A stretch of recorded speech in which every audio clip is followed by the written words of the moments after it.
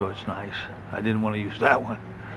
We got that one. Go on the other side and come this way. Nice, Bob. And he's a national treasure. And you have to kind of take care of him. You know, I want him to be very powerful for us. I want Robert to be able to look back and think of it as his greatest role. Stand by for picture, please. We're going to go again. Keep the block, please. So, folks, that's a good night to Annette, to Dean, and to Bobby. I was expecting applause. Working with Annette Bening was a real joy for me. And it was a joy for me because I had so many things going on. And, and uh, the one thing that the great actors have in common is you never have to worry about them. I looked up and there was not only my actress, but there was an ally. Let's go to picture. The woman needed to be of an age where she was just about to turn the corner on missing love. I wanted someone like Annette Bening who, if she was never going to get it, was still going to hold on to her pride. And that's what Annette brought was a certain authority about being everything that a woman is. I spent a lot of time in that house because I'm I'm you know the woman in the house. So I was there a lot. It was it was so comfortable. It felt like my house. It really did. Except that there were lots of crew guys in there all the time with a lot of hot lights steaming it up. To see her work, to see her come in here and throw herself into the, a boys' movie. Button! Because traditionally women don't have big parts in westerns. They're the ones that sit and wait for their if their men come home or don't come. And and to see her, a classic actress, throw herself at this was really, uh, number one, uh, uh, great for me to see as a colleague, as a fellow actor, and as a director. It really lightened my load to have her come in and, and instead of her saying, "Well, what am I supposed to do here while you guys are all doing this?" She never once said that, and and it and she has no idea how I appreciate that.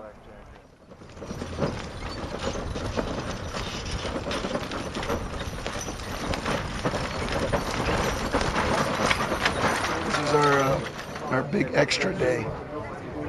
These are these are our kids.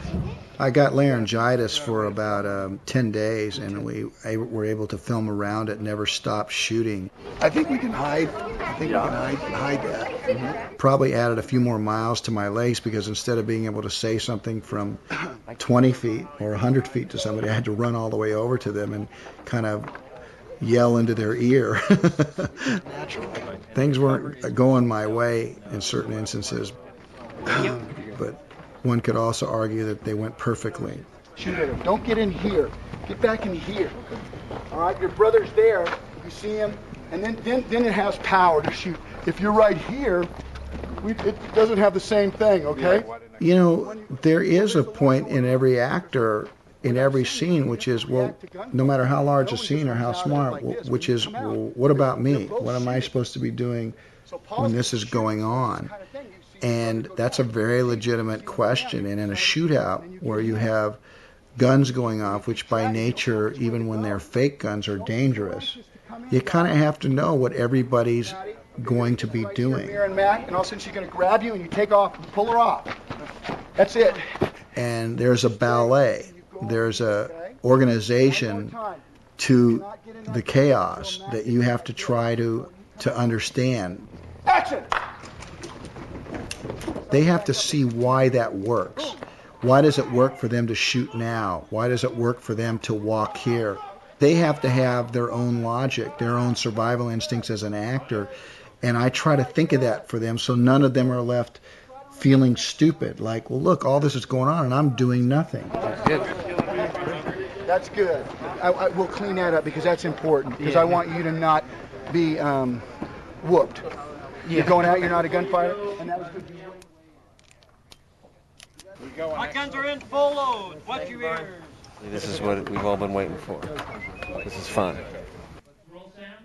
One of the, the hallmarks of the Western is the, the inevitable shootout uh, on some level, whether it's on a grand scale or a classic where two men face each other in the street, and that, that signifies the end of the story, the end of the movie, the end of the problem. Let's keep the majority. We all know that buzz because we've all experienced it in junior high or in high school where you actually knew a fight was going to take place. It's an electric atmosphere and, and it travels very fast. I actually wanted to show the people leaving the town that didn't want to be around for this.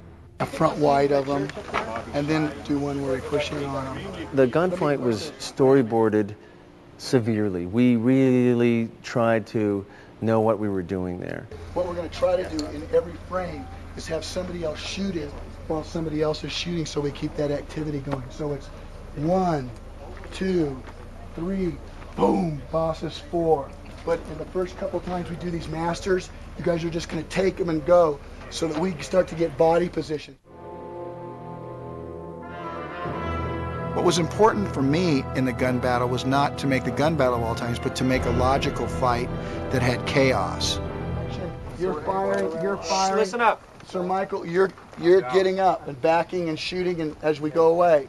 There's the initial uh, blast, you know, the shot heard around the world that starts it. If see the marshal ain't with you. You won't find it so funny when you're all shot the hell of dying. You the one killed our friend? That's right. I shot the boy too, and I enjoyed it.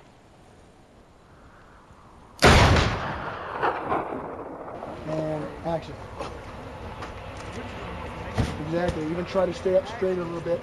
And as soon as everybody saw that Kim Coates character getting popped with one shot in the forehead and falling back, we just said, oh my God, this is going to be great. One, action.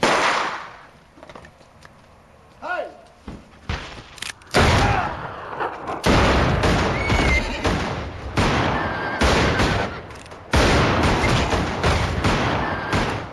Cut. Attaboy. You're Cutty, cut, cut. I wanted to also create moments of breathing and trying to figure out and knowing that this battle is not over, that it continues on. And, and I think that's part of the enjoyment of the audience is that it just doesn't start and stop, you know, and it's over. It starts, it stops, it, it winds itself back up. It get, becomes maybe more violent they, than they even anticipated. The surprises are greater than even the first one. And Kevin always said, when this gunfight starts happening, I want people to think it's more of a documentary, you were there kind of kind of feel. So there's a few really dirty angles of what what's happening. And at the moment when Sue gets taken hostage, the camera just goes crazy on a cinema verite level, and we're just shaking it, and we're just following, and it, it was it was a new level of kind of like realism. I believe Kevin's favorite shot in the movie is when he is running through the back alleys and we come leading him out of a very dark alley and pan and reveal the moment where, where Sue is being held and all the townspeople are back there, wham, which brought Charlie's character to the surface where you realize, oh my gosh, this guy really is what he says, what he's been threatening all this time. Oh my gosh, he really is like that. Some of the gunfight was photographed with this tool. This is the lightest weight 35 camera in the world. All of the uh, photography with Baxter, we called it the cat and mouse moment, where, where Charlie is cat and mouse with, with Baxter, and he's being shot at, and he's crawling behind the water trough, and we reveal the little girl, and he, and he gets up, and we see his face is all red face, and he turns and he aims the weapon at, at the little girl. That was done with this camera. Full load, big fire in the hole. You hit? I'm good. Boss is inside there, and uh, he sees a guy sneaking along the wall like this, and to this point, through the slats. Gets to this point, and as he turns like this, Boss empties both barrels. The stunt guy actually gets hit by the explosion. He actually flies across and lands against this wall. The trick to this is to be able to blow that out with a lot of force at the same time having him right here. So we used a combination of high pressure air and sand. Action. So far, we've probably fired, I would say, a thousand rounds this morning with uh, all the different particular takes and cuts that we've done so far. So it's uh, been a busy day for us. All told, we could probably go through 5,000 to 7,000 rounds by the time we're done the shootout.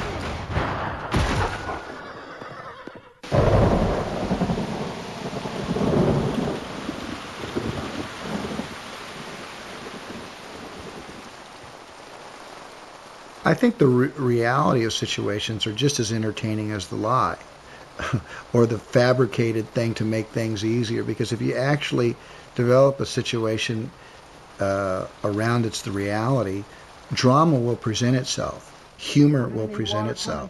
The story will not suffer by recreating something to the detail that it is it's it's uh, associated with being real. You know, when I see things that aren't even close to being real. And and uh, you can go back and you look. I look at a lot of movies that I looked at when I was a kid, and I just simply enjoyed them. But now, as I look back on them, there's just this uh, quality of uh, Wagon wash. when there's a lack of reality, what happens is it suspends your belief to the point that nothing holds anymore, nothing sticks, uh, nothing's at stake. And when you start with the little details of things, I think you have an opportunity. If you believe in the little things being right, if you believe in the reality of the smallest detail, then that'll carry through an entire movie. And as you move to the bigger moments of your movie, if you don't abandon the reality of the situation, be it the tenderness of a situation or the sheer terror or the dilemma of where you find yourself, those moments um, are heightened because they are something in a, in a sense subconsciously we relate to them. He said you should know since you was there.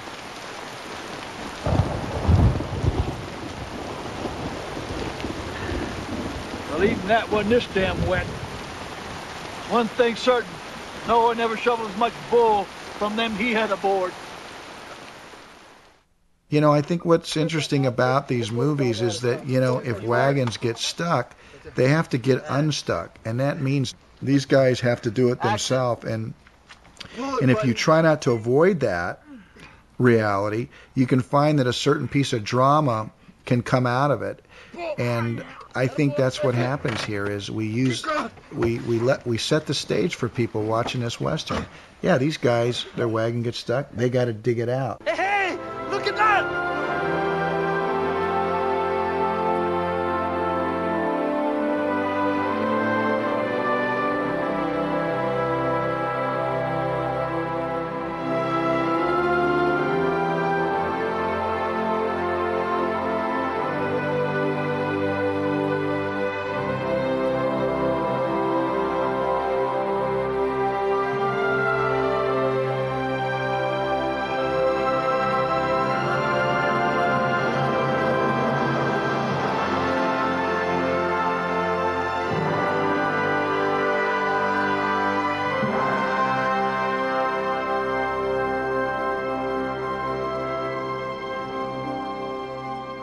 Lot of joy in movies, you know, where they take you. Little did I know that, you know, when I made this western, I would find myself in Prague, dealing with individuals, men and women, who didn't even share a common language.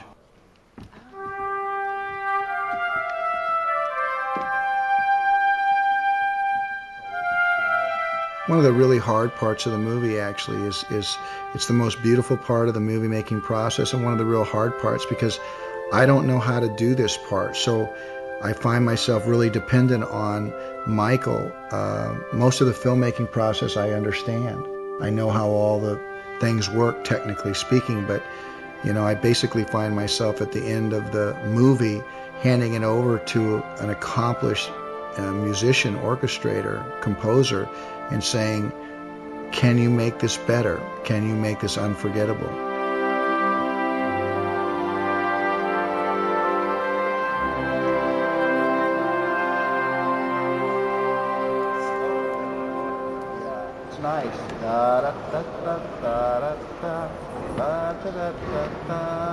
I like those, the way that wait. It's really kind of fun. The interesting thing about music is you don't have to have the ability to make it in order to understand it. There's almost a sports analogy there too, which is you don't have to be a great athlete sometimes to be able to recognize a great athlete. Music is something that we're all able to weigh in on, and I'm interested to see it line up with our uh, our horses. Um, the reality is how do you weigh in on it intelligently, and how do you exercise your opinion with a certain kind of grace when you're when you're actually talking with somebody who their whole life is based on music. Just hang on to the D and honey. Because it's their genius and it's also my movie. So who is going to cast the final vote? You know, who's going to break the tie? And that thing in the heart. So you you know you have to try to be magnanimous and have a sense of authority. I like the strength of the music right there, and and besides that, the music went into the bar pretty good anyway.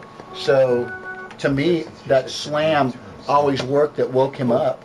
on his tummy, the, the thing jumps.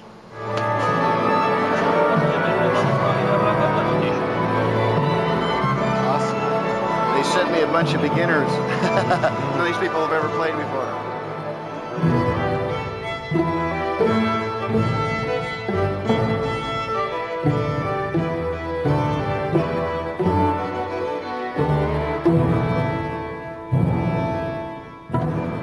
See those guys? Those things back in. It's like Movies are like gifts, and you want to give them to people just the same way as when you read a great book or you hear a great piece of music. The tendency is to want to share that. And one of the great stories is Herb Kohler. It's locked. Herb wanted to take the experience that he had being in a movie, and he wanted to share it with his community, Sheboygan, in Kohler, Wisconsin. And um, we did that, and we flew back, and they uh, used that movie as an opportunity to raise money for a couple of worthy causes. So you say, what's the value of the movie? The value of the movie that day was that it raised six or seven hundred thousand dollars for charity. People gathered in the name of another idea, and the movie was the reason that people could gather, and I feel good about that. House? Yeah. Sure. Hey, look through. Did you get the clouds? Look through. No, you told me you were going to go from the clouds down to the house. Oh, no, no, no. They're in the front. Who's in the frame? I don't know the need to finish this picture. I, somehow I, my body shut down and closed on it. I finished the movie, and about two weeks into post back in L.A., my doctor came over, and because I said I, w- I just wasn't feeling right, and he had no idea, and he looked at me and said, "I'll bet you a hundred thousand dollars you're in surgery today." And I said, "I'll be to work on Tuesday," but I wasn't. I, I found myself on morphine for about seven days. I'll always be thankful to God for letting me finish this film.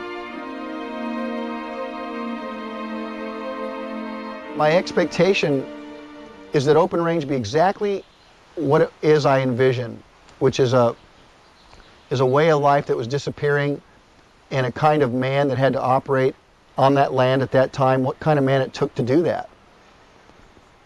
And for you to feel the consequences of those decisions and for you to live inside the dilemma that's created. And if I can do that, I feel like open range, the ex- my expectation for open range will match yours, which is you've tasted a little bit of the American frontier.